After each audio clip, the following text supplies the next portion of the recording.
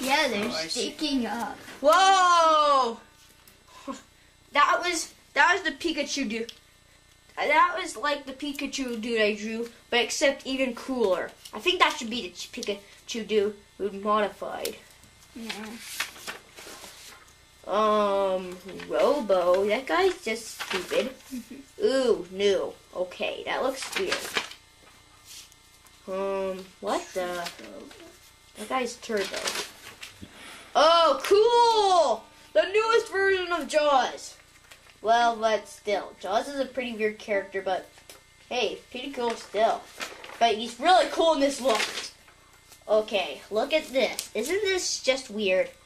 Okay, A museum of Jaws. no, it's a museum of weird, weird, totally messed up robots. They made up. Look at this. This guy has a really long arm, which has like a big cannon. Cannon. and, it, and it must be so heavy. It looks like a regular arm. All the other ones are way too short. Yeah. Well, that's supposed to be a cannon, if you know. Um, Dash. What the? He has a golden eye, and he has golden stripes on his arm, and he has a gold, an all golden arm with a golden glove. Okay, that is just a whack, but he's pretty cool. He's like, it reminds me of the Matrix a little bit.